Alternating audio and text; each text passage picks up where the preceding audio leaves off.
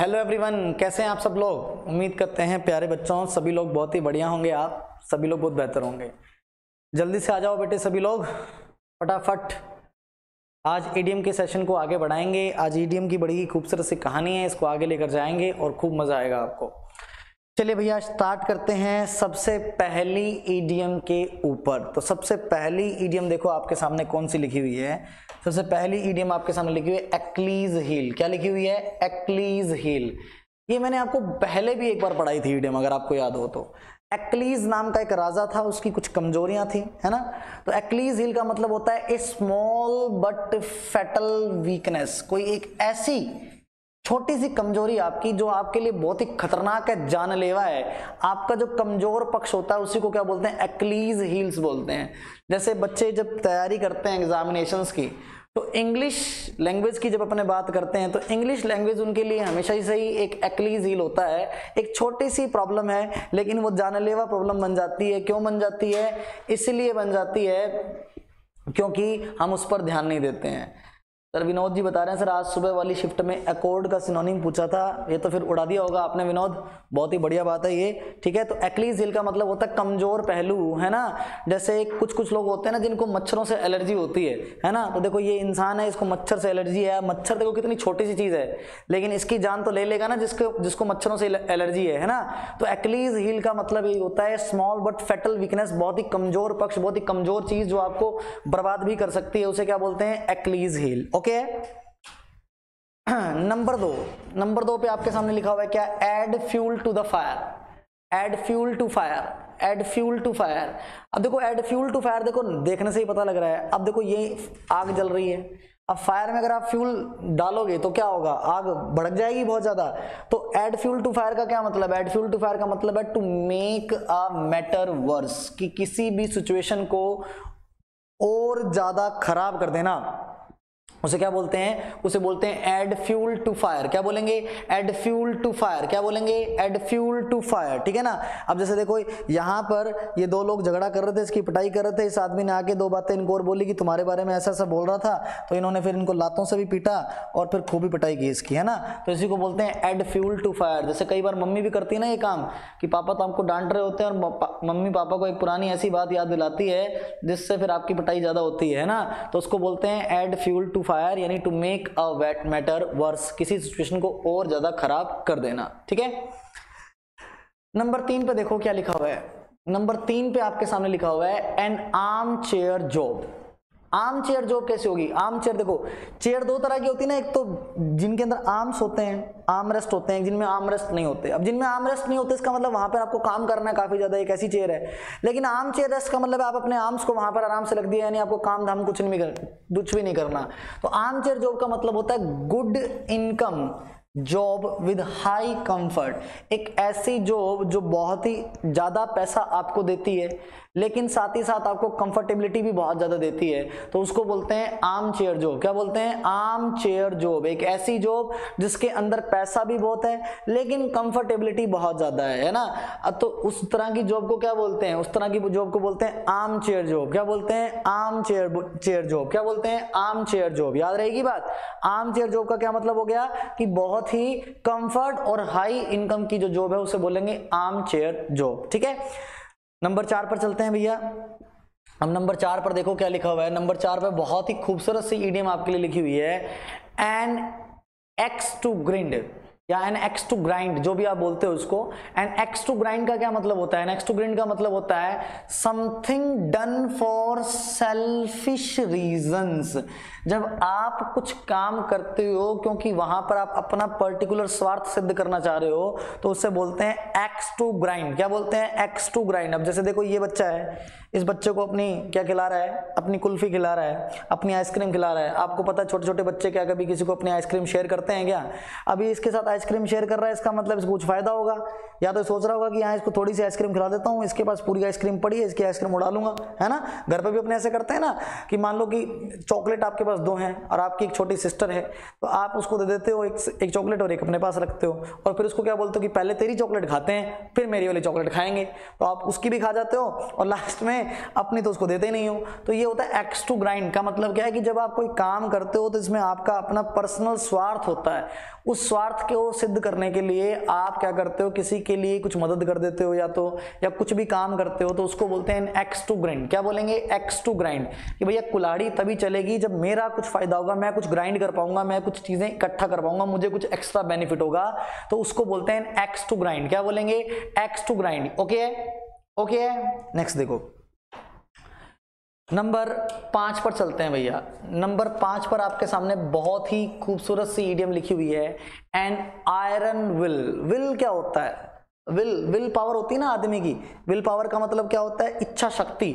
और iron will, iron का मतलब होता है स्ट्रॉन्ग तो आयरन विल का मतलब क्या आयरन विल का ये मतलब है स्ट्रॉन्ग विल पावर जब किसी इंसान की विल पावर बहुत स्ट्रॉन्ग होती है तो उसको क्या बोला जाता है? उसको बोला जाता है एन आयरन विल क्या बोला जाएगा? एन आयरन विल क्या बोला जाएगा? एन आयरन विल क्या बोला जाएगा? एन आयरन विल है ना? जैसे देखो, अब ये जो इंसान है, इसने सोच लिया कि दूरी चाहे यहाँ पर इन दोनों पहाड़ों के बीच में कितनी भी है, लेकिन मुझे यहाँ से लेकर यहाँ जाना है तो जाना ही है। जैसे आप लोगों ने सोच लिया कि इस बार नौकरी लगना है तो लगना ही है। और जैसे इस बार मैंने सोच लिया कि बच्चों की अंग्रेज़ी को बहुत बड़े लेवल पर मज़बूत करना है तो करना ही है। तो इसको क्या बोलते हैं? इसी को बोलते बोलते हैं आयरन विल क्या बोलते हैं? आयरन विल क्या बोलेंगे? आयरन विल तो आयरन विल का क्या मतलब होता है कि स्ट्रॉन्ग विल पावर जब आपकी होती है किसी काम को करने को लेकर तो उसे बोला जाता है आयरन विल क्या बोलेंगे? आयरन विल ओके नेक्स्ट देखो। नेक्स्ट नंबर छह पे चलते हैं। नंबर छ पे क्या लिखा हुआ है? नंबर छह पे लिखा हुआ है, आशिकों के लिए ज़बरदस्त ईडियम आई है एन ओल्ड फ्लेम या एन ओल्ड क्या लिखा हुआ है? एन ओल्ड फ्लेम क्या लिखा हुआ है? एन ओल्ड फ्लेम अब देखो, ये जो ईडियम है ना, इस ईडियम का क्या मतलब होता है? इस ईडियम का मतलब होता है कि जो आपका कोई पुराना प्यार है, जैसे अभी देखो, ये इंसान बैठा है, ये कार्टून बना के बैठाया हमने दिखाया आपको, और इसको अपनी प्यार भरी यादें आ रही हैं। ये याद कर रहा है कि एक ज़माना था, मैं भी कभी अक्षय कुमार हुआ करता था, मेरी ज़िंदगी में भी एक प्रियंका चोपड़ा हुआ करती थी, है ना? तो ओल्ड फेम का मतलब क्या होता है? ओल्ड फ्लेम का मतलब यही होता है कि कोई ऐसी चीज़ a person with whom one had a romantic relationship in the past कि जब कोई ऐसा इंसान जिसके साथ आपके पुराने बहुत अच्छे प्यार के संबंध थे तो उसको क्या बोला जाता है? उसको बोला जाता है एन ओल्ड फ्लेम क्या बोला जाएगा? एन ओल्ड फ्लेम क्या बोला जाएगा? एन ओल्ड फ्लेम क्या बोला जाएगा? एन ओल्ड फ्लेम याद रहेगी बात? ठीक है, आशिकों, आगे बढ़ जाएँ, नंबर सात पे चलते हैं। नंबर सात पे देखो। नंबर सात पे लिखा हुआ है an old head on young shoulders an old head on young shoulders भैया, इसका क्या मतलब होता है? इसका मतलब होता है ए चाइल्ड और young person who thinks and talks like an older and experienced person है ना? कुछ लोग नहीं होते जो अपनी उम्र में, अपनी उम्र से ज़्यादा समझदार होते हैं, है ना? या अपनी उम्र से ज़्यादा जिम्मेवारियाँ उनके ऊपर होती हैं। तो ऐसे लोग क्या होते हैं? ऐसे लोगों को बोलते हैं an old head on young shoulders क्या बोलेंगे? An old head on young shoulders कुछ लोग होते हैं, जैसे आपने कुछ बच्चों को देखा होगा, उनको इतनी ज़्यादा डेडिकेशन होती है, उनको अपने पेरेंट्स की इतनी चिंता होती है, कि वो छोटी सी एज में इस बात को समझने लग जाते हैं कि पेरेंट्स के ऊपर हम पूरी तरह से डिपेंड नहीं रह सकते हैं और पेरेंट्स की भी एज जैसे जैसे बढ़ रही है तो वो भी बहुत कमज़ोर होते जा रहे हैं तो हमें उनकी मदद करनी है। तो वो क्या करते हैं, बहुत अच्छे से पढ़ाई करते हैं, अपने काम से काम रखते हैं। तो ऐसे लोगों को क्या बोलते हैं, ऐसे लोगों को बोला जाता है an old head on young shoulders अब जैसे देखो ये बच्चा है, स्कूल में पढ़ता है। अब स्कूल में पढ़ता है, लेकिन देखो ये क्या कर रहा है, ये इतनी सारी बुक्स लोगों की, सभी सभी लोगों की बुक्स एक साथ लेके जा रहा है, भैया इसको दो पैसे बन जाएँ। तो छोटी सी उम्र में जब ज़्यादा जिम्मेवारियाँ आपके ऊपर आ जाती हैं तो उसको बोला जाता है an old head on young shoulders या एक ऐसा इंसान जो अपनी उम्र से ज़्यादा समझदारी की बातें करता है, उसको भी क्या बोला जाता है? Old head on young shoulders याद रखना भैया, अच्छी ईडियम है ये, ठीक है? बिल्कुल एकदम बढ़िया ईडियम्स वो सीधी एग्जामिनेशन में दिखने वाली ईडियम्स मैं आपको पढ़ा रहा हूँ। नेक्स्ट देखो क्या लिखा हुआ है। नेक्स्ट लिखा हुआ है नंबर आठ पे एन ओलिव ब्रांच क्या लिखा हुआ है? Olive olive branch olive oil आता है ना एक? आता है कि नहीं आता है? तो ओलिव ब्रांच का मतलब क्या होता है? पीस रिक्वेस्ट पीस ट्रिटी जब आप किसी से शांति का निवेदन करते हैं तो उसको बोलते हैं ऑलिव ब्रांच क्या बोलते हैं? ऑलिव ब्रांच क्या बोलते हैं? ऑलिव ब्रांच जैसे देखो, ये इंसान है ईश्वर से प्रार्थना कर रहा है कि भैया सब कुछ क्या रखो, शांति से रखो, दुनिया बड़ी शांति से चलती रहे। तो उसको क्या बोलते हैं? उसको बोलते हैं ओलिव ब्रांच क्या बोलेंगे बेटा? ओलिव ब्रांच क्या बोलेंगे? ओलिव ब्रांच तो ओलिव ब्रांच का क्या मतलब होता है? पीस की रिक्वेस्ट पीसफुल रिक्वेस्ट कह लो या पीस ट्रिटी कह लो। शांति के लिए जो संधि होती है, उसको क्या बोलते हैं? ओलिव ओलिव ब्रांच है ना? तो याद ऐसे भी रख सकते हो कि ओलिव ऑयल जब लगाते हैं तो इंसान बड़ा शांत हो जाता है। ऐसे याद रख लेना। ओलिव ब्रांच का मतलब जब आप किसी से क्या करते हो रिक्वेस्ट करते हो पीस की तो उसे क्या बोलते हो? ओलिव ब्रांच याद रहेगी बात? आगे बढ़ो।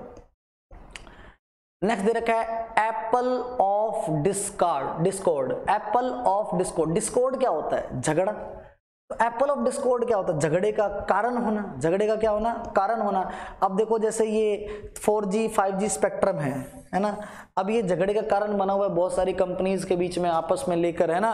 तो इसी को क्या बोलते हैं? एप्पल ऑफ़ डिस्कॉर्ड यानी मैटर ऑफ़ डिस्प्यूट जिसकी वजह से कोई मैटर बहुत ज़्यादा खराब हो जाता है तो उसको क्या बोला जाता है? उसको बोला जाता है एप्पल ऑफ़ डिस्कॉर्ड क्या बोला जाता है? एप्पल ऑफ़ डिस्कॉर्ड क्या बोला जाता है? एप्पल ऑफ़ डिस्कॉर्ड यानी झगड़े का कारण होना, है ना? जैसे मान लो कि दो लड़के हैं, उन दोनों का झगड़ा हो गया, दोनों बहुत अच्छे दोस्त थे, लेकिन एक देवी के आने की वजह से ज़िंदगी में उन दोनों दोस्तों के बीच में झगड़ा हो गया तो वो देवी क्या है? वो देवी है झगड़े की जड़, यानी एप्पल ऑफ़ डिस्कॉर्ड है। उस देवी की वजह से ही झगड़ा हुआ है तो उसको बोलेंगे एप्पल ऑफ़ डिस्कॉर्ड क्या बोलेंगे बेटा?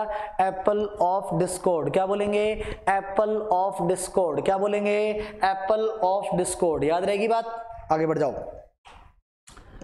नंबर दस पर चलते हैं। नंबर दस पर आपके सामने लिखा हुआ है। Apple of one's eye apple of one's eye apple of one's eye का मतलब है जो जो सभी को अच्छा लगे। Very very lovable dearest one जो होता है, उसको बोलते हैं एप्पल ऑफ़ वंस आई क्या बोलते हैं? एप्पल ऑफ़ वंस आई अब देखो ये छोटे छोटे क्या है पपीज हैं। है ना? ये सब के सब बच, इसी बच्चे के साथ रहना चाहते हैं क्योंकि बच्चा बड़ा ही क्या है क्यूट सा बच्चा है इसी के पास सब रहना चाहते हैं तो इसी से सब के सब पपी से बड़ा खुश हैं। तो इसी को बोलते हैं एप्पल ऑफ़ वंस आई अपने स्कूल में पढ़ते तो बोलते थे नहीं नहीं आँखों का तारा होना। तो वही होता है एप्पल ऑफ़ वंस आई या इसी के लिए अपनों ने एक इडियम पिछली क्लास में पढ़ी थी blue eyed boy blue eyed boy अगर आपको याद हो तो है ना? तो ब्लू आइड बॉय रिलेट करते रहा करो, याद करते रहा करो, पुरानी ईडियम याद किया करो कि इसके जैसी कौन सी पढ़ी थी। देखो, आज आशीष आदेश ने हमको बताया कि सर ब्लू आइड बॉय भी हमने पढ़ी थी। तो देखो, इस तरीके से जब आप पढ़ते हो ना, इसका मतलब आप पुरानी चीज़ों को पढ़ने के बाद भूलते नहीं हो। उनके ऊपर ज़्यादा फोकस रखते हो। तभी अच्छी तरीके से आपकी स्टडी हो सकती है। जब आप कोई भी नई चीज़ पढ़ते हो, उसके साथ साथ पुरानी चीज़ों को पढ़ते हो तो तभी आप एप्पल ऑफ़ वंस आई बन पाओगे, यानी वेरी लवेबल कब बन पाओगे, सभी की आँखों के तारे कब बन पाओगे टीचर्स के फेवरेट कब बन पाओगे, जब आप क्या करोगे, अपनी काम को बार बार रिपीट करते रहोगे। ठीक है? आगे चलो। उसके बाद नंबर 11 पे देखो। नंबर 11 पे देखो, फिर ये आ गई। ये भी आपने पढ़ी हुई है एप्पल पाई ऑर्डर याद है ना आपको? एप्पल पाई ऑर्डर का मतलब क्या होता है? एप्पल पाई ऑर्डर का मतलब होता है बिल्कुल अच्छी कंडीशन में होना साफ़ सुथरी कंडीशन में होना, उसको क्या बोलते हैं? एप्पल पाई ऑर्डर बोलते हैं। अब जैसे देखो यहाँ पर ये इंसान है, ये अपनी गाड़ी के टायर चेक कर रहा था, इसने देखा बिल्कुल टायर तो बिल्कुल क्या है एप्पल पाई ऑर्डर में है, बिल्कुल ठीक कंडीशन में है तो उसको क्या बोलेंगे? एप्पल पाई ऑर्डर क्या बोलेंगे? एप्पल पाई ऑर्डर क्या बोलेंगे? एप्पल पाई ऑर्डर क्या बोलेंगे? एप्पल पाई एप्पल पाई तो एक डिश भी है। खाइए क्या आपने कभी? तो अगर आपने कभी एप्पल पाई खाया है तो भी आपको पता लग जाएगा कि बहुत ही बढ़िया डिश होती है। बिल्कुल ऐसे दिखने में सुंदर सुंदर लगती है है ना? जैसे आप केक्स खाते हो फ्रूट केक्स खाते हो तो वो भी एप्पल पाई की जैसी चीज़ ही होती है। बिल्कुल एक बढ़िया कंडीशन में होती है। तो एप्पल पाई ऑर्डर का मतलब यही होता है कि जब आप बहुत अच्छी कंडीशन में होती हो तो उसको बोलते हैं एप्पल पाई ऑर्डर क्या बोलते हैं? Apple pie order okay next देखो। नेक्स्ट दे रखा है एट अ लॉस क्या दे रखा है? एट अ लॉस अब 11 नंबर पे 12 नंबर पे है ना आपने? तो एट अ लॉस क्या होता है? ये देखो, ये भी मैंने आपको पढ़ाई थी, इसी के जैसी एक और पढ़ाई थी, अगर आपको याद हो तो। एट सी याद है कि नहीं है? एक ईडियम हमने ये भी तो पढ़ी थी ना एट सी याद है? तो एट सी और एट लॉस एक ही बात है। क्या मतलब है? जब आप बहुत ज़्यादा पजल हो जाते हो to be unable to decide जब आप सोच नहीं पाते हो कि मुझे क्या करना है कैसे मैं करूँ? आप बहुत ज़्यादा अपने आप को डायलेमा की सिचुएशन में पाते हो डिसाइड नहीं कर पाते हो तो उसको बोलते हैं एट अ लॉस जैसे एग्जामिनेशन में आपके साथ कई बार होता है कि मान लो चार ऑप्शन है ए बी सी डी आपने दो ऑप्शन काट दिए ए और बी अब आपको इन दोनों में दिक्कत हो रही है तो आप डिसाइड नहीं कर पाते कि सी को टिक करूँ कि डी को टिक करूँ, दोनों ही ठीक लग रहे हैं. तो इसको क्या बोलते हैं? एट अ लॉस बहुत ज़्यादा कन्फ्यूज़ हो जाना डिसाइड ना कर पाना. अब जैसे ये इंसान है, बड़ा कन्फ्यूज़ सा लग रहा है कि भैया सफ़ाई करें कि ना करें? जैसे ये इंसान है, ये समझ, इसको समझ में नहीं आ रहा कि भैया आप शर्ट इतना मोटा हो गया, मैं शर्ट तो पूरी नहीं आ रही। अब क्या करूँ मैं? शर्ट को निकाल दूँ कि नई शर्ट लेकर आऊँ? तो इसी को क्या बोलते हैं? इसी को बोलते हैं एट अ लॉस क्या बोलेंगे? एट अ लॉस और इसी की जैसे ईडियम हमने एट सी भी पढ़ी थी। Manjeet ji thank you so much प्यारे बच्चों। आगे बढ़ जाते हैं। एट अ लॉस का क्या मतलब होता है? To be enable to decide आगे बढ़ो बेटा। थर्टी नंबर पे। Thirteen number. बढ़िया, बहुत ही बढ़िया। At a pinch at a pinch अब देखो एट अ पिंच से आपको याद आ रहा है पिंच ऑफ़ सॉल्ट भी अपने नेगेटिव पढ़ी थी, है ना? पिंच ऑफ़ सॉल्ट भी अपने नेगेटिव पढ़ी थी, जब अपने किसी चीज़ में सस्पेक्ट रखते हैं, संदेह रखते हैं। और वहीं से कौन सी बन गई? एट अ पिंच पिंच क्या होता है? चुटकी लगाते हैं ना किसी को अपने?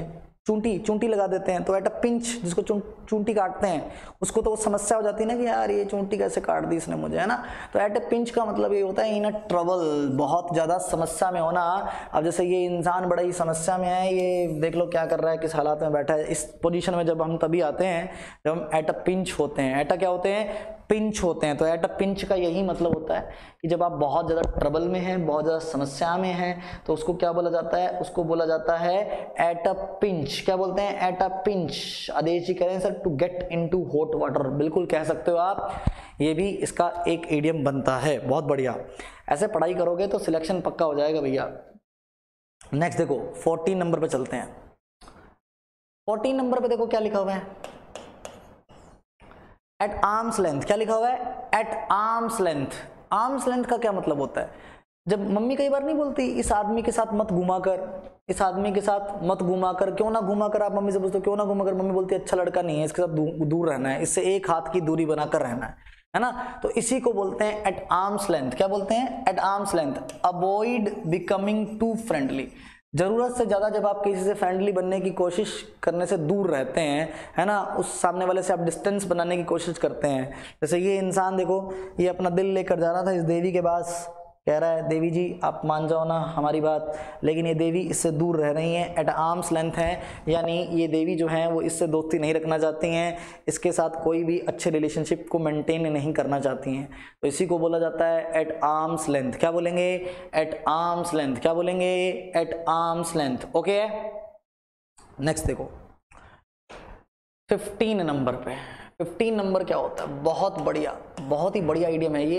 एट डैगर्स ड्रॉन डैगर्स मैंने आपको पहले भी बताया था। डैगर्स का मतलब होता है खंजर, है ना? डैगर्स क्या होते हैं? खंजर होते हैं। तो डैगर्स ड्रॉन का क्या मतलब होता है? डैगर्स ड्रॉन का मतलब होता है जब टू हैव बिटर एनिमिटी जब आपकी किसी से बहुत ही कट्टर दुश्मनी होती है ना तो आप डैगर्स ड्रॉन होते हैं। डैगर्स का मतलब ही खंजर होता है। तो आप खंजर अपने हाथ में तभी रखते हैं जिसकी खंजर तो आप उसी को लगाते हो ना जिसके साथ आपकी बहुत ही खतरनाक दुश्मनी है। अब जैसे देखो ये एक देवी और एक देवता है, आपस में इनकी बिल्कुल नहीं बनती है तो ये एक दूसरे का गला घोटने की कोशिश कर रहे हैं। तो इसी को क्या बोला जाता है? इसी को बोला जाता है डेगस ड्रॉन क्या बोलेंगे? डेगस ड्रॉन क्या बोलेंगे? डेगस ड्रॉन क्या बोलेंगे? डेगस ड्रॉन याद रहेगी बात? अच्छी इडियम बहुत अच्छी। ये इडियम्स ऐसी इडियम्स हैं जो हज़ारों बार एग्जामिनेशन में देखी जा चुकी हैं। अक्सर ये एग्जामिनेशन का पार्ट बनती हैं। ठीक है ना? नेक्स्ट देखो। कितने नंबर पे चल रहे हैं? सिक्सटीन पे। सिक्सटीन नंबर पे देखो क्या लिखा हुआ है। At ease at ease at ease देखो, बहुत बढ़िया आइडियम है। एट ईज का मतलब होता है बिल्कुल शांत रहना। जैसे आपने कई बार सावधान, विश्राम, ये देखा ना तो विश्राम का जो स्टेट होता है ना, उसको एट ईज बोलते हैं। बिल्कुल शांति में रहना। है ना? जब आपके पास कोई भी पेन नहीं है, आप किसी, आपके ऊपर किसी प्रकार की चिंता नहीं है, एक सारी एनजाइटी और पेन से आप पूरी तरह से दूर हैं तो उसको बोला जाता है एट ईज क्या बोलेंगे बेटा? एट ईज क्या बोलेंगे? एट ईज क्या बोलेंगे? एट ईज है ना? ऐसे ये देवी देखो, हवा में उड़ान भर रही है, गाना गा रही है, आज मैं ऊपर आसमान नीचे। ठीक है? तो इसका मतलब क्या है? ये एट ईज हैं। एट ईज का मतलब इनके लाइफ में कोई भी चिंता नहीं है, बिल्कुल खुश हैं, बिल्कुल काम हैं। तो उसको क्या बोलते हैं? एट ईज क्या बोलेंगे? एट ईज क्या बोलेंगे? एट ईज क्या बोलेंगे? एट ईज याद रहेगी बात? आगे बढ़ो। कितना नंबर हो गया? Seventeen number. सेवनटीन पे देखो भैया। सेवनटीन में आपके सामने लिखा हुआ है at one's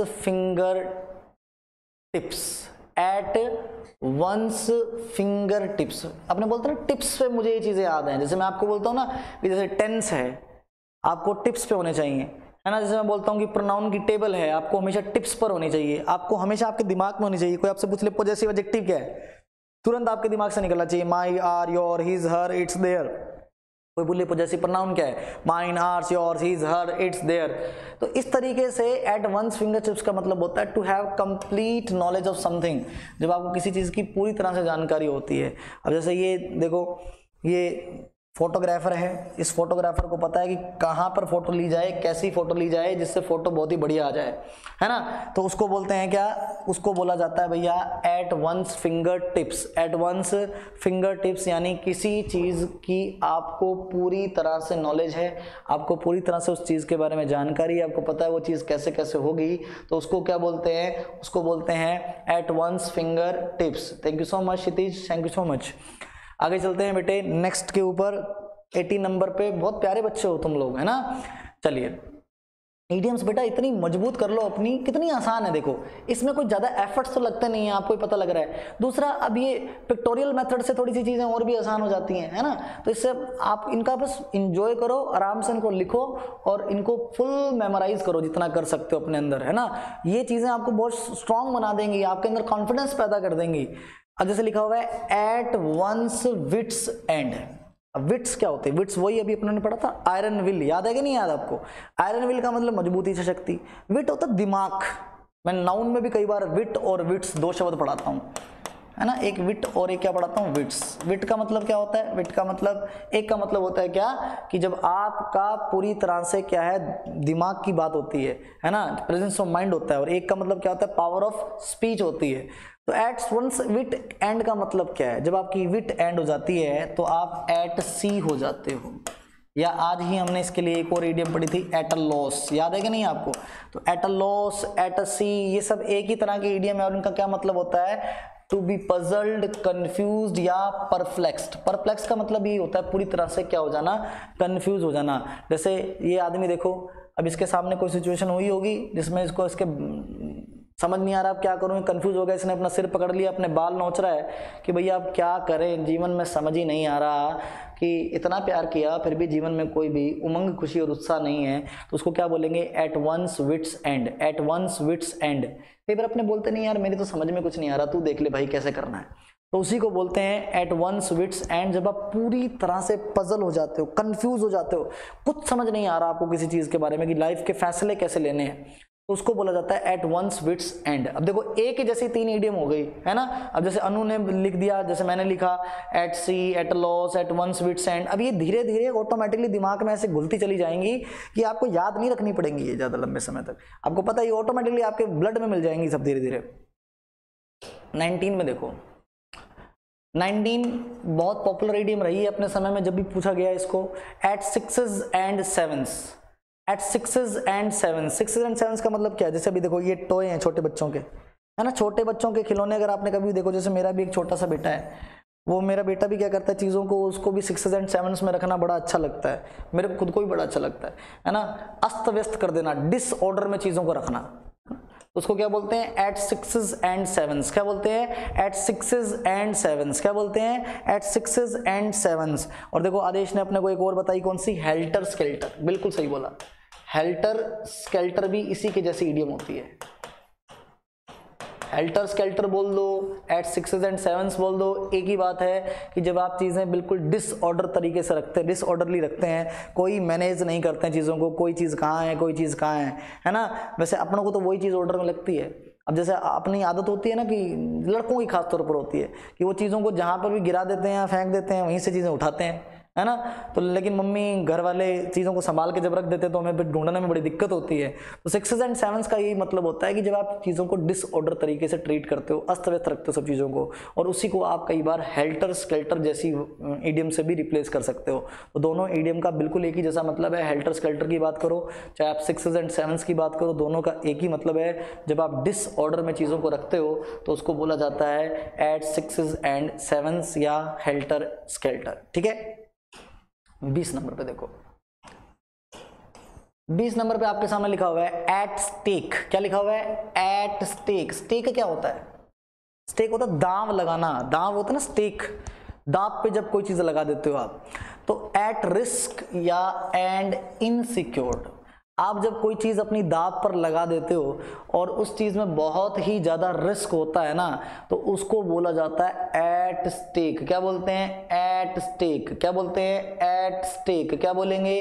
एट स्टेक जैसे देखो ये इंसान देखो, अब इसने पैसों के लिए क्या रस्सी पे चल रहा है तो अपनी पैसों के लिए अपनी जान को क्या लगा रखा है एट स्टेक कर रखा है, दाव पर लगा रखा है कि जान चली जाए, जान भी जा सकती है अगर एक कदम इधर से उधर हो गया, है ना? लेकिन इस आदमी की आयरन विल कितनी ज़बरदस्त होगी ना, है ना? आयरन विल होगी तभी तो ये ऐसी हरकत कर रहा है, मज़बूत इच्छा शक्ति होती है जिसकी वही ऐसी हरकत कर पाता है। तो एट स्टेक का मतलब होता है किसी चीज़ को दाव पर रख देना एट रिस्क रिस्क या इनसिक्योर्ड आप कह सकते हो तो उसको बोलते हैं एट स्टेक यानी दाव पर लगा दिया आपने तो उसे बोलेंगे एट स्टेक क्या बोलेंगे?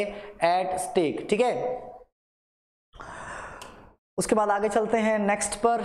नेक्स्ट देखो लिखा हुआ है एट द इलेवेंथ आर क्या लिखा हुआ है? एट द इलेवेंथ आर क्या लिखा हुआ है? At the eleventh hour at the eleventh hour का क्या मतलब होता है?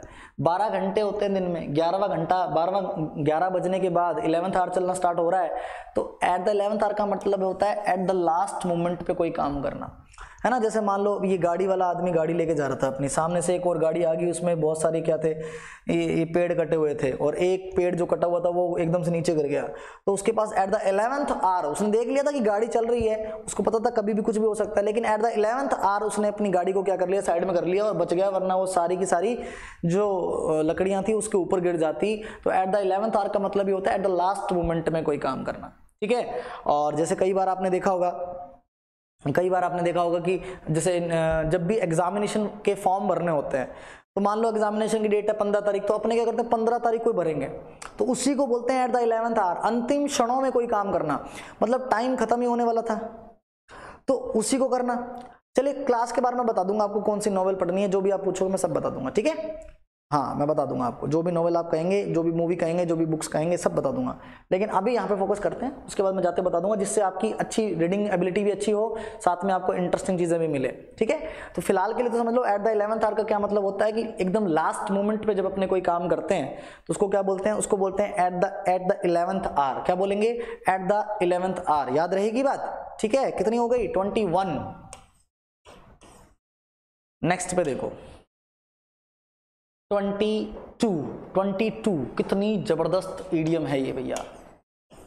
Back stairs gossip back stair gossip gossip तो पत, आपको पता ही है बातें बनाना होता है। बैक स्टेयर गॉसिप क्या होती है? बैक स्टेयर गॉसिप का मतलब होता है कि जब आप टॉक अमंग अमंग सर्वेंट्स या अनफेयर टॉक्स जब आप पीठ पीछे किसी की बुराई करते हो ना तो उसको बैक स्टेयर गॉसिप्स कहते हैं। आमतौर पर ये कहाँ से बनी? देखो क्या होता है, आपको पता है यूरोपियन कल्चर को हमने बहुत अडेप्ट किया। तो वहाँ पर क्या है कि जैसे जो भी मतलब जहाँ के सर्वेंट्स होते थे तो उनको जो रूम दिया जाता था, वो स्टेयर्स के आसपास ही दिया जाता था। तो वहीं पर बैठकर सब लोग आपस में क्या करते थे, अपने मालिक की बुराई करते थे कि क्या बातचीत करते थे वहाँ पर, या बुराई भी करते थे। तो उसी को बोलते हैं बैक स्टेयर गॉसिप्स पीठ पीछे चुगली करना किसी की। तो उसे बोलते हैं बैक स्टेयर गॉसिप गॉसिप तो आप जानते ही हो, बातें बनाना होता है किसी के लिए। तो बैक स्टेयर गॉसिप का मतलब हो गया कि जब आप क्या करते हो अनफेयर टॉक्स करते हो, ऐसी बातें जो फेयर नहीं है, वो करते हो, या फालतू की बातें करते हो, या किसी की बुराई करते हो तो उसको बोलते हैं बैक स्टेयर्स गोसिप क्या बोलते हैं? बैक स्टेयर्स गोसिप क्या बोलते हैं? बैक स्टेयर्स गोसिप क्लियर है? चलिए। नेक्स्ट चलते हैं ट्वेंटी थर्ड पर, और ट्वेंटी थर्ड पर आपके सामने आ गया, भैया कौन सा? Bad blood bad blood bad blood भी होता है जब आपकी किसी से बहुत ही कड़वाहट भरे रिलेशन होते हैं। एनिमिटी होती है, आपकी शत्रुता होती है बिटर रिलेशन जब आपके किसी के साथ होते हैं। अभी देखो, ये दो दोस्त, ये दो लड़के हैं, आपस में पढ़ाई कर रहे हैं, लेकिन देखो, ये एक दूसरे से अपनी चीज़ों को छुपा रहे हैं, ये दोनों आपस में एक दूसरे को जिस निगाहों से देख रहे हैं, उन निगाहों में कहीं ना कहीं खून छिपा हुआ है। लगता है दोनों को पसंद आने वाली देवी एक ही है, उसी नज़र से ये देख रहे हैं तो इसी को बोलते हैं बैड ब्लड क्या बोलते हैं? बैड ब्लड अब देखो, इसके जैसे आपने कौन कौन सी ईडियम पढ़ाई? इसके जैसे आपने एक ईडीएम कौन सी पढ़ी थी? इसके जैसी एक ईडियम आपने पढ़ी थी अभी भी पढ़ी ना आपने कौन सी ईडियम पढ़ी थी इसके जैसी? बताओ जल्दी से। एट डेगस ड्रोन पढ़ी थी एक तो और कौन सी पढ़ी थी? होस्टाइल नेचर के लिए, बताओ जल्दी से। जल्दी जल्दी बताओ। हाँ ये एट डेगस ड्रोन तो हो गई, और बताओ, कोई पुरानी याद आ रही हो आपको? पुरानी भी मैं पहले पढ़ा चुका हूँ। डेविल्स एडवोकेट तो वो होता है जो गलत का साथ देता है किसी सिचुएशन को पढ़ाने भड़काने के लिए। वो होता है डेविल्स एडवोकेट तो। ग्रीन आइट तो जेलस फील करने वाला होता है। है ना? पढ़ाई करा करो, याद क्या करो होस्टाइलिटी होस्टिलिटी के लिए बहुत सारी इडियम्स आपने पढ़ी हैं, ठीक है? चलो। ट्वेंटी फोर पे चलते हैं। ट्वेंटी फोर पे लिखा हुआ है। ट्वेंटी फोर पे लिखा हुआ bag and baggages bag and baggage bag and baggage baggage क्या होता है? बोरिया बिस्तरा होता है। जब आप बैग एंड बैगेज के साथ जाते हो बैक एंड बैगेज का मतलब होता है विद ऑल बिलोंगिंग्स जो भी आपकी चीज़ें हैं, उन सबके साथ समेट लिया। जैसे अभी कोरोना वायरस की जब क्या आई? जब कोरोना वायरस आया था शुरू शुरू में कोविड 19 जब आया, जितने भी लोग थे जो दूसरी जगहों पर रह रहे थे, उन्होंने अपना बोरिया बिस्तर समेट लिया। उनको पता था कि बहुत लंबे समय तक लॉकडाउन आएगा और इसका बहुत ही कॉम्प्लिकेशन बहुत ज़्यादा हो सकते हैं तो अपना बोरिया बिस्तर समेट के कहाँ पहुँच गए, अपने अपने घर चले गए। तो इसी को बोलते हैं बैग एंड बैगेज। क्या बोलते हैं? Bag and baggage. क्या बोलते हैं? Bag and baggage. क्या बोलेंगे? Bag and baggage. क्या बोलेंगे? Bag and baggage. ठीक है, याद रखना भैया, बहुत इस्तेमाल होने वाली ईडियम है ये। उसके बाद आगे देखो, आगे लिखा हुआ है बेकस डजन। अब देखो, क्या लिखा हुआ है? बेकस डजन। अब डजन में तो चीज़ें कितनी होती हैं? बारह होती हैं। लेकिन बेकर्स डजन कौन होता है? अब देखो डजन तो बारह का है, लेकिन बेकर्स डजन यानी स्पेशल डजन है ना? तो बेकर डजन का मतलब होता है थर्टीन इन नंबर जब कोई चीज़ संख्या में तेरह है ना उसको बोलते हैं बेकर्स डजन। क्या बोलते हैं? संख्या में तेरह जब कोई चीज़ होती है थर्टीन इन नंबर तो उसको क्या बोलते हैं? उसको बोलते हैं बेकर्स डजन। क्या बोलेंगे? Baker's dozen. क्या बोलेंगे? Baker's dozen. कि भैया, ये दर्जन एक ऐसा दर्जन है जिसमें बारह नहीं, तेरह चीज़ें हैं तो उसे बोलेंगे बेकस डजन। क्या बोलेंगे? Baker's dozen. क्या बोलेंगे? Baker's baker's dozen. क्या बोलेंगे? Baker's dozen. याद रहेगी ना बात? आगे बढ़ जाओ। कितनी होगी ट्वेंटी फाइव। ट्वेंटी फाइव होगी ना? चलो ट्वेंटी सिक्स पे चलते हैं। ट्वेंटी सिक्स पे आपके सामने लिखा हुआ है be born with a silver spoon in one's mouth अब देखो, इसको पढ़ते पढ़ते ही याद हो रही है ईडियम कोई ज़्यादा दिमाग में रखने वाली बात नहीं है to be born with silver spoon in one's mouth का क्या मतलब है कि कोई चांदी का चम्मच लेके पैदा हुआ है? यानी to be born in a rich family अब देखो, यहाँ पर देखो, अब ये जो छोटे छोटे बच्चे हैं अब देखो ये कहाँ, कैसी फैमिली में बिलोंग हुए हैं? जब देखो राजा महाराजाओं की फैमिली है, इसका मतलब इनको तो जीवन में कोई चिंता ही नहीं, इनको पता ही इनको पता कुछ करना तो है ही नहीं अपने को, अपनी लाइफ सेट है। ना? टू है to born with silver spoon का मतलब ये होता है कि जब आप बहुत ही रिच फैमिली में क्या करते हो बिलोंग करते हो, है ना? अब जैसे मुकेश अंबानी घर में कोई पैदा हो जाए तो भैया वो क्या है बॉर्न विद सिल्वर स्पून ही है कि उसके मुँह में सोने का, चांदी का चम्मच है, उसको जीवन में कुछ करने की ज़रूरत ही नहीं है, उसका तो लाइफ सेट है है ना?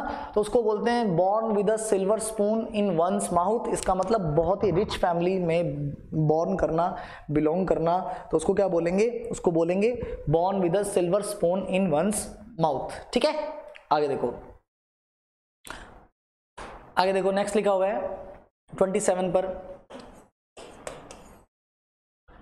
Be in the driving seat be in the driving seat be in the driving seat क्या होता है? जब आप ड्राइविंग सीट अब गाड़ी चलाना अगर आपको है तो गाड़ी चलाने के लिए आपको क्या करना पड़ेगा? ड्राइविंग सीट पे आना पड़ेगा। तो be in the driving seat का मतलब क्या होता है? बी इन ड्राइविंग सीट का मतलब होता है कि जब सारी की सारी रिस्पॉन्सिबिलिटीज आप खुद उठा लेते हैं।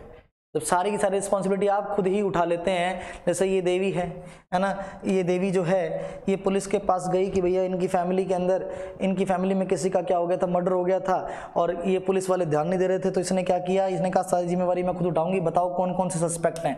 उन सारों की पिक्चर्स दिखाओ मुझे। मैं सारों की पिक्चर्स देख रही हूँ और देखती हूँ कि कौन, मैं खुद ही सारा चार्ज देखूँगी। उसको क्या बोलते हैं? उसको बोलते हैं be in the driving seat यानी सारी रिस्पॉन्सिबिलिटीज़ को जब आप खुद बियर करते हैं है ना? तो उसको क्या बोलते हैं? उसको बोला जाता है be in the driving seat क्या बोलेंगे? Be in the driving seat यानी bearing all kind of responsibilities is called be in the driving seat क्या बोलेंगे? Be in the driving seat क्या बोलेंगे? Be in the driving seat 28 पर चलते हैं।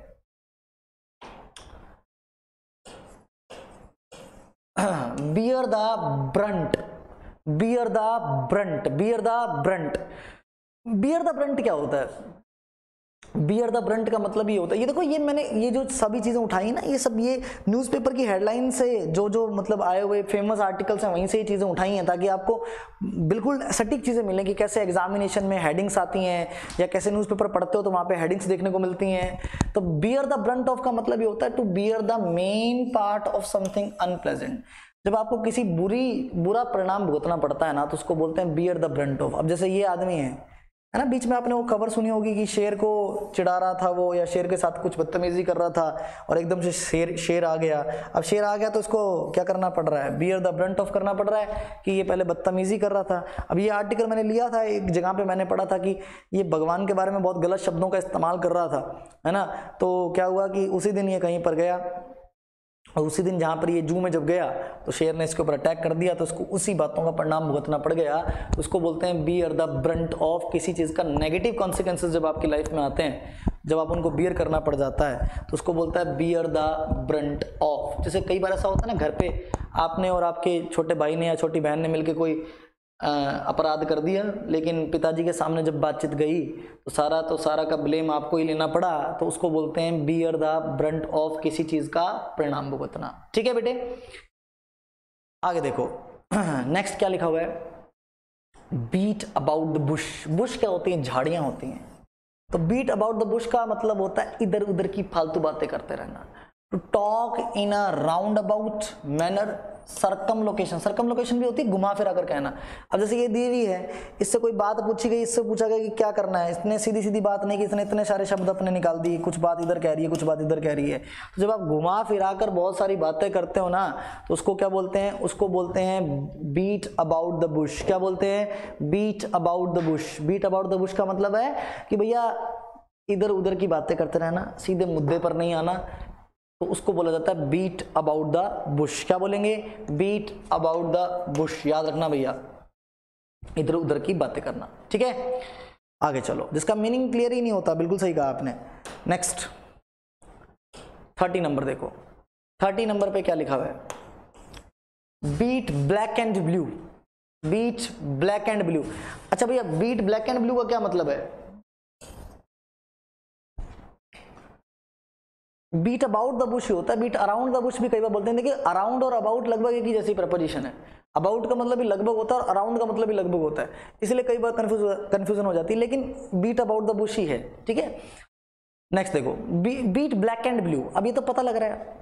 Beat beat black and blue का क्या मतलब है? जब बीटिंग मर्सीलेसली जब आप किसी को बहुत ही बुरी तरीके से पिटते हैं, पिटाई करते हैं पिटने के बाद इंसान कैसा होता है काला नीला हो जाता है कि नहीं हो जाता है? हो जाता है ना? तो उसी को बोलते हैं बीट ब्लैक एंड ब्लू क्या बोलते हैं? बीट ब्लैक एंड ब्लू क्या बोलते हैं? बीट ब्लैक एंड ब्लू तो बीट ब्लैक एंड ब्लू का यही मतलब होता है कि किसी की बहुत ही बुरी तरीके से पिटाई कर देना, उसको क्या बोलेंगे? उसको बोलेंगे बीट ब्लैक एंड ब्लू क्या बोलेंगे? बीट ब्लैक एंड ब्लू क्या बोलेंगे? बीट ब्लैक एंड ब्लू याद रहेगी बात? अब देखो यहाँ पे पिटाई कर रहे हैं इसकी, है ना? पिटने के बाद इसकी भी शक्ल काली, पीली, नीली हो जाएगी। नेक्स्ट देखो। नेक्स्ट कह रहा है? Beat hollow beat hollow beat hollow का मतलब होता है होलो क्या होता है? खाली। तो to defeat thoroughly and convincingly जब आप किसी को बहुत ही आसानी से और बुरी तरह से हरा देते हो ना तो उसे बोलते हैं बीट होलो। जैसे पाकिस्तान को हमने बहुत बार कैसे हराया है? बहुत ही बुरी तरह से हराया हमने। बहुत बुरी तरह से हम उसको हरा देते हैं। है ना? जैसे जैसे छोटी छोटी टीम्स खेलती हैं हमारे सामने कई बार। जैसे बांग्लादेश जैसी टीम है। बांग्लादेश तो अब तक तो बहुत अच्छी हो गई। पहले तो बहुत ही जिम्बाबे है जैसे। नीदरलैंड्स हैं जैसे। ये कमज़ोर टीम है। तो उनको जब भी कोई टीम बड़ी टीम हराती है तो बहुत ही बुरी तरह से हराती है। है ना? तो उसको बोलते हैं बीट होलो बीट होलो का मतलब होता है जब आप किसी को बहुत ही कन्विंसिंगली और थॉरली डिफीट देते हो ना, किसी को बहुत ही खतरनाक तरीके से हरा देते हरा देते हो, उसको बोलते हैं बीट होलो क्या बोलेंगे? बीट होलो क्या बोलेंगे? बीट होलो थर्टी वन हो गए हैं, ठीक है?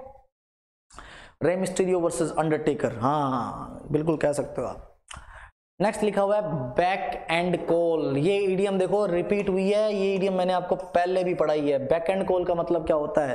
है ना? बैक एंड कॉल का मतलब यही होता है कि जब आप किसी की चाकरी में रहते हैं ready to obey order instantly जैसे देखो, ये आदमी इन सबको ऑर्डर दे रहा है, ये सब इसकी चाकरी में लगे हुए हैं कि भैया क्या करना है, तू ही बता, जो तू बताएगा वैसे ही काम करेंगे। उसी को बोलते हैं back and back and call ये रिपीट हो चुकी है, आपको पता है, पिछली क्लासेस में भी हमने इसको डिस्कस किया था बहुत अच्छे तरीके से, आपको याद होना चाहिए। तो बैक एंड कॉल आपको याद होगी अब तक, और बिल्कुल याद रहेगी हमेशा। थर्टी थ्री पर चलते हैं।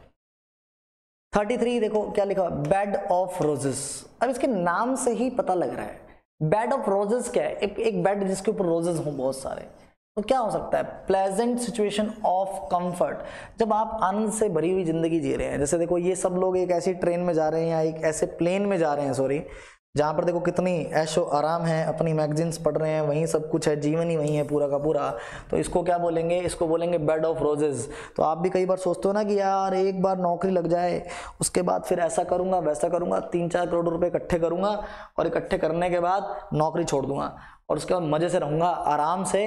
इतनी सी तो ज़िंदगी है, एक आधी बारी तो मिलती है और उसको ढंग से जीऊँगा, है ना? फिर सारे उत्पादों का इस्तेमाल करूँगा, लाइफ के अंदर सभी उत्पादों का इस्तेमाल किया जाएगा, देखा जाएगा किसके क्या क्या साइड इफ़ेक्ट हैं, किससे कैंसर होता है और किससे कैंसर नहीं होता है है ना? तो उसको बोलते हैं ऑफ़ रोजेज यानी जब बहुत ही कंफर्ट सिचुएशन में आप रहते हैं, बहुत ही बढ़िया सिचुएशन में आप रहते हैं तो उसे बोला जाता है बेड ऑफ़ रोजेस ठीक है? आगे देखो। नेक्स्ट लिखो बैड ऑफ़ थॉर्न्स क्या लिखा हुआ है? बैड ऑफ़ थॉर्न्स अब देखो, ये दोनों मैंने एक साथ इसलिए लिख दी ताकि आपको आसानी से याद हो जाए। बैड ऑफ़ रोजेस क्या अच्छी इडियम मतलब अच्छी ज़िंदगी जीना प्लेजेंट सिचुएशन में होना। तो बेड ऑफ़ थॉर्न्स क्या होता है? बेड ऑफ़ थॉर्न्स का मतलब होता है सिचुएशन ऑफ़ एक्सट्रीम डिफिकल्टी एक ऐसी सिचुएशन में होना, जहाँ पे बहुत परेशानी है, जहाँ पे बहुत दुख है तो उसको क्या बोला जाएगा? बेड ऑफ़ थॉर्न्स क्या बोला जाएगा? बेड ऑफ़ थॉर्न्स क्या बोला जाएगा? बेड ऑफ़ थॉर्न्स अब आपकी, आपको सर यहाँ पे तो आपने कोई पिक्चर लगाई नहीं। अरे, यहाँ पे पिक्चर लगाने की ज़रूरत ही नहीं थी। हमारी इस वक्त आपकी ज़िंदगी जो चल रही है, वो बेड ऑफ़ थॉर्न से ही भरी हुई है है कि नहीं है? सारा दिन कभी ये पढ़ाई करो, कभी वो पढ़ाई करो, कभी मैथमेटिक्स पढ़ो, कभी इंग्लिश पढ़ो, कभी ये पढ़ो। तो आपकी लाइफ में परेशानियाँ ही परेशानियाँ हैं। तो उसको बोलते हैं बेड ऑफ़ थॉर्न्स क्या बोलेंगे? बेड ऑफ़ थॉर्न्स क्या बोलेंगे? बेड ऑफ़ थॉर्न्स कितनी होगी? थर्टी याद रहेगी ना बात? थर्टी पर चलते हैं। थर्टी फाइव पर अगर आप देखोगे, लिखा हुआ है बैगस डिस्क्रिप्शन क्या लिखा हुआ है? बैगस डिस्क्रिप्शन अब बैगस डिस्क्रिप्शन का क्या मतलब होता है? डिस्क्रिप्शन मतलब किस चीज़ को बताना और बैगर मतलब गरीब आदमी होता है। अब गरीब आदमी का आप क्या तो उसके बारे में बता पाएँगे। तो बैगर डिस्क्रिप्शन का मतलब होता है a person with no resources एक ऐसा आदमी, इसके बाद कोई रिसोर्सेज नहीं है। या फिर आप कह सकते हो कि एक ऐसी चीज़ को आप एक्सप्लेन ही नहीं कर सकते हो, उसे बैगर्स डिस्क्रिप्शन कहते हैं और ये भी ईडियम में आपको पहले पढ़ा चुका हूँ। इसलिए मैंने इसकी पिक्चर नहीं बनाई है है ना? तो बैगर डिस्क्रिप्शन आपको याद रहना चाहिए। क्या मतलब होता है? जिस चीज़ को आप एक्सप्लेन नहीं कर सकते हैं, या फिर आप ये भी कह सकते हैं कि बैगर डिस्क्रिप्शन का एक मतलब होता है, जब किसी इंसान के पास कोई रिसोर्सेज ही नहीं होते हैं, संसाधन ही नहीं होते हैं तो उसको भी बैगर डिस्क्रिप्शन कहा जाता है। थर्टी सिक्स थर्टी सिक्स पे लिखा हुआ है बेल द कैट ये ये तो बहुत बचपन से सुनते आ रहे हैं, बिल्ली के गले में घंटी कौन बांधेगा? बोलते हैं कि नहीं बोलते हैं? Bell the cat bell the cat का मतलब होता है taking first step at personal risk जोखिम उठाना।